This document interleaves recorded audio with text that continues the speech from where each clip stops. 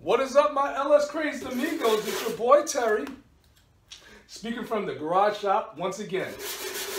Here to offer you some more big bang for the buck product and info. Yeah, you see I'm getting it in. I'm uh, removing the old seam seal off the firewall, so, you know, like, I see that there's little surface rust, you know, trying to get all that stuff out before I metal prep it and sand it down and then metal prep and uh, get it going, you know? Because like I said, we're moving on this transmission, but we're not going to talk about that today. Ah, we're going to talk about today is the T56. Once again, all right? A couple weeks ago, I put out a video about T56, and then a week, before, a couple weeks before that, I put another video out. Uh, so I got a lot of questions about that, and most common asked questions off the second video is because I mentioned gearing about the T56s and everything. The most common asked questions was like, could you explain what you're talking about when you say a, a 2.97 or, or one to one, you know, could you please explain what that is? And it's very simple, I will explain. Um, so let's go back to where we were with the T56. I put it back on the bench and we'll, we'll talk. For testing purposes, it's important to know the input shaft and output shaft. The input shaft is where this the transmission connects to the engine in the output shaft is where you have your drive, your drive, uh, your drive shaft that goes to your axles, which goes, which powers the wheels. Now this is the front of the transmission. You usually have uh, a bell housing that mates up to the the back of the engine. Now this is the throwout bearing, and well, we're not going to talk about this today. This is a different time in a different video. All right. So now here's your input shaft. Now this usually goes through. Uh, a clutch, and then a flywheel. And then right here, you have a pilot bearing that's inside of the, the crankshaft. All right, and so that's how it works.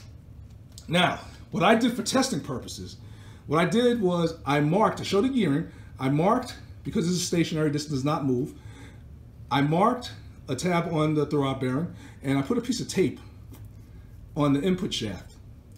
And on the back, what I did was I marked the output shaft. This is the output shaft. You see, now this, a drive shaft would go through here, yoke, and then it goes to drive shaft, it goes through. You ever look on the bottom of a truck and you see that thing that spins? That's your drive shaft, and it connects to the rear axle, which goes to the wheels, and that's where your power gets from. That's why they say horsepower at the wheel. So between here and the axle, you lose a lot of power. No, not a lot, but you lose some power, so that's why they say power at the rear, rear wheels. Uh, so I marked it with a little Sharpie, you can see it, and I marked it with a representing 12 o'clock, 12 o'clock, 12 o'clock, 12 o'clock, which will show you when I turn this one time, the relationship to this. So let's put the let's put the transmission in first gear. Right now it's in neutral. So let me stand up, move it over, there we go. So it's in first gear now. So what I'm gonna do is I'm gonna turn this thing until this does a full revolution. Now remember, it's 12 o'clock, 12 o'clock, 12 o'clock, 12 o'clock. So what I'll do is I'll shout out full turn, full turn twice, and then on the on the input shaft, it should be a little past the halfway mark for 266 gearing. So let's begin. All right, ready?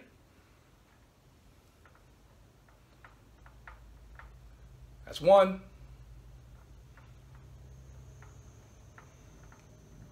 That's two. All right, now, when this thing, when, when the output shaft is a full revolution, now, right now, it's 12 o'clock, 12 o'clock. 12 o'clock on the output shaft, on the input shaft, 12 o'clock on the, on the mark. So now, once I go a full turn, a half turn, it should go a little past half. So let's do it to get it to the full. So I'm looking, I'm looking, it's right there all right? Right about right there. That's a full turn on the output shaft. Let me show you something.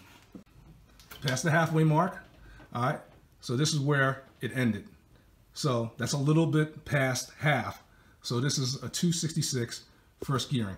Now if it was a 299, a 297, it probably would be up at here, close to a full third revolution. All right, so now that's how first gear works. It's a 266, and Second gear, let's see, hmm, 20, 20 right there. Second gear is a 178. So it's going to be a little bit different, but not too much more. All right. So now what we're going to do is we're going to concentrate on the fourth gear. Fourth gear is one to one, meaning when this input shaft spins one time, the output shaft spins one time. So let's begin with the test. All right, 12 o'clock, 12 o'clock, 12 o'clock, 12 o'clock. Okay, I'm gonna spin this one time. 12 o'clock, right there. So it's one to one. All right, so that's what I mean when I say one to one. When I say one to one, that's one to one. Most, if not all, T56s are a one to one transmission. We're gonna skip fifth gear, which is a 0.74, and we're gonna go straight to the sixth gear, which is a 0.50. I got it in sixth gear, all right? Now, the output shaft, the input shaft, uh, a half a revolution should equal a whole revolution in sixth gear on the output shaft. Basically, so if I turn this rotation, one rotation, this is gonna spin twice. So let's begin, all right? So I'm gonna spin this a half a revolution, right about right there. There you go.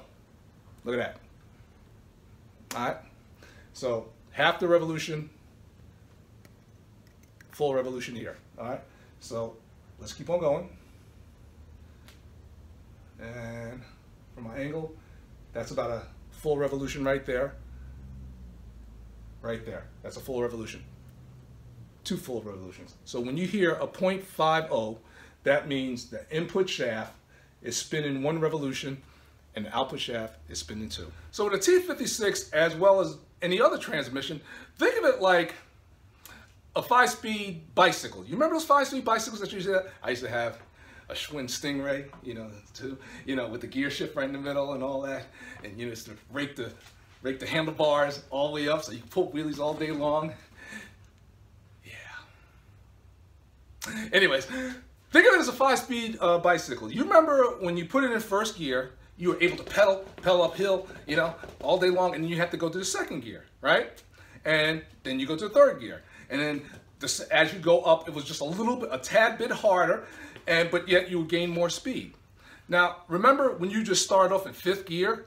If you start off in fifth gear, it's really hard to pedal, really hard to struggle until you get it moving and then you're able to go. So just think of a transmission like that. All it is is just a series of gears that with your shifter, you move and you just shift them in sequence and that's it. Because if you try to start off in third gear, it's going to be like the same thing with your bike.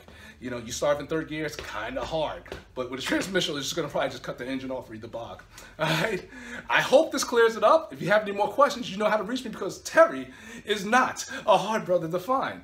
And I want to take the opportunity today at this point to say thank you. I appreciate all the love and the questions and the comments. So please, if you have any more, you know how to reach me. I'm not a hard brother to find. But I want to give a shout out to you, to all you guys. Thank you guys for watching. And I'm looking at the clock on the wall. It always moves. It always moves. Where is it? It's over there. Or should I say ceiling? I'm gonna head on off and I'm gonna do some more videos and put work back on this car and get this thing running because I'd like to try to get it running before the end of the end of this year. All right. So as always, as always, please be easy, and I will catch you guys real soon. Thank you. Schwinn.